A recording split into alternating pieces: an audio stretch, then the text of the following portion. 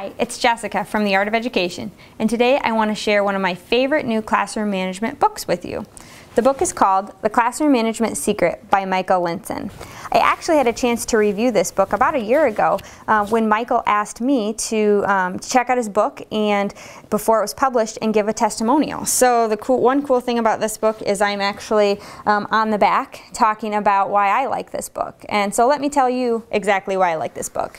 Um, all of Michael Linsin's works are very practical. He's not an art teacher himself, but his first book, Dream Class, which we use in our Managing the Art Room course, is uh, so helpful for any little things in your art room that you need help with managing. Things like managing routines, managing um, talking with difficult students and the details of how those situations will go. For example, two of the keys in Michael's book, um, one is key 17, how to teach routines, because we know we can't just expect students to do what we want, we have to do a mini lesson and show them, which a lot of people aren't talking about, but it's an, a necessity.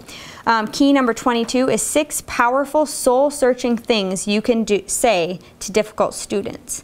So it gets to the heart of those conversations, and I find there's practical tips in any one of the 45 keys um, that you can take directly into your art room, and I highly recommend this book, The Classroom Management Secret by Michael Linsin.